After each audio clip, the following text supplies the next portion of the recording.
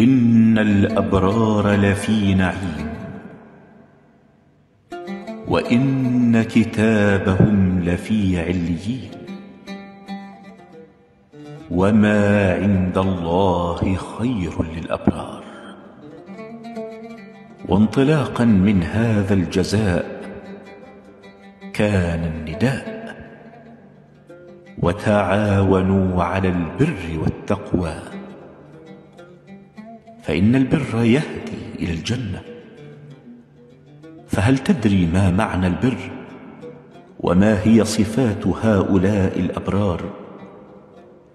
إن البر أيها الصائم هو التوسع في فعل الخير ومعاملة الخلق بالإحسان.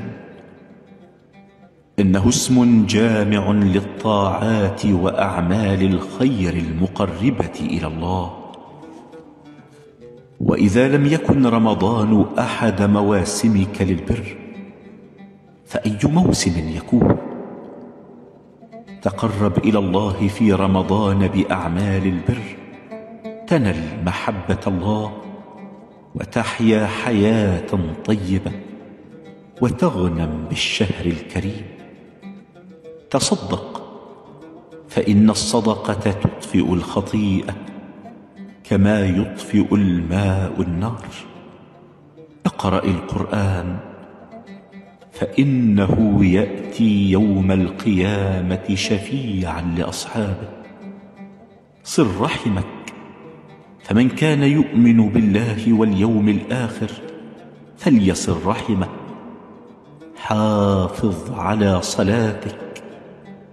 فمن حافظ عليها كانت له نورا ونجاة يوم القيامة.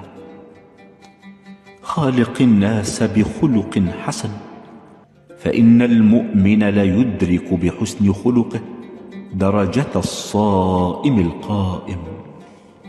قدم الخير للآخرين فلا يؤمن أحدكم حتى يحب لأخيه ما يحب لنفسه.